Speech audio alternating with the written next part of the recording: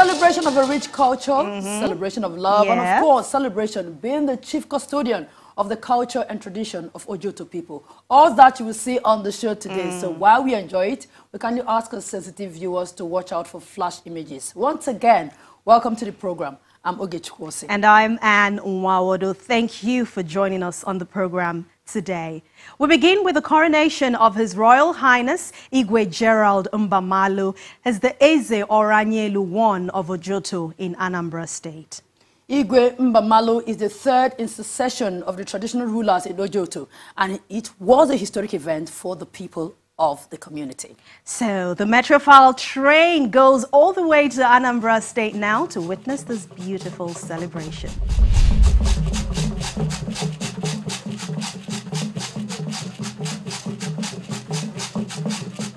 Sounds of drumbeat and other traditional instruments at the palace of His Royal Highness Igwe Gerald Mbamalu, a sign that something historic is about to happen.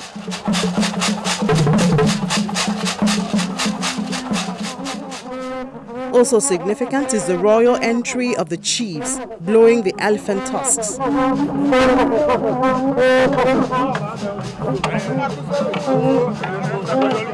The message of the tusks is clear. It's a royal historic event that will see Ojoto community on the path of unity with the coronation of a new Igwe, the third in the succession of traditional rulers in Ojoto.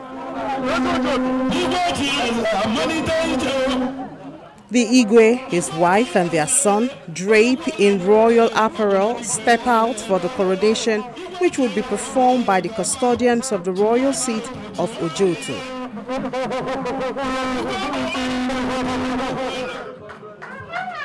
Immediately he steps in, the traditional rite of the coronation begins. He is eventually crowned Igwe Oranyelu, the first of Ojoto. Then the staff of office is presented to him, affirming his authority as the chief custodian of the culture and tradition of Ojoto people.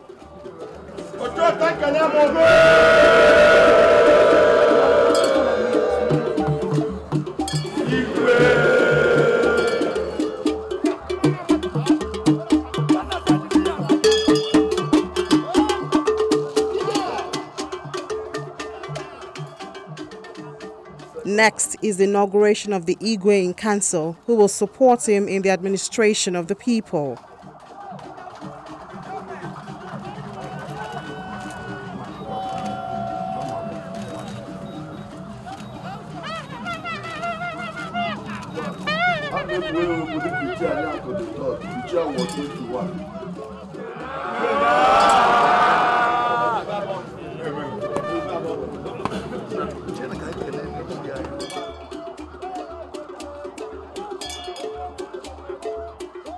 The Igwe then makes his first appearance to the people gathered in his palace.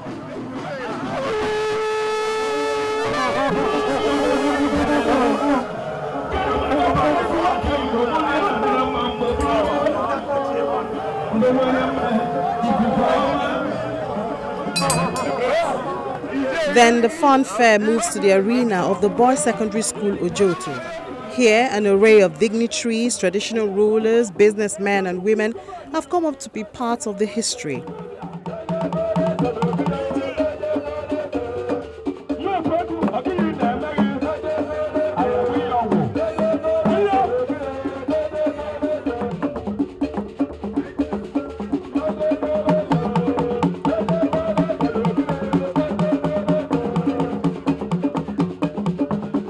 The new Igwe adds color to the occasion when he arrives in a cart, while his cabinet chief in red and white attire glow and radiate class and royalty.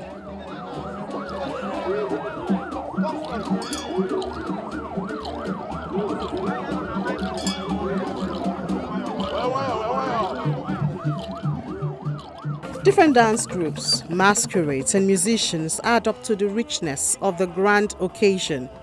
People have come to pay homage to the new king.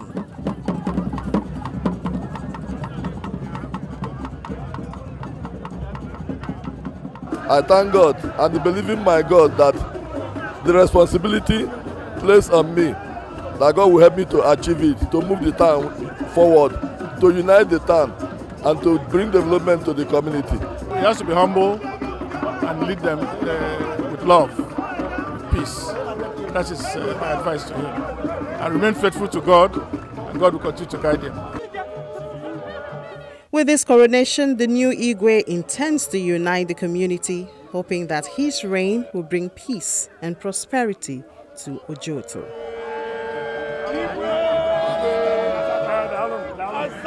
Daalụ ọba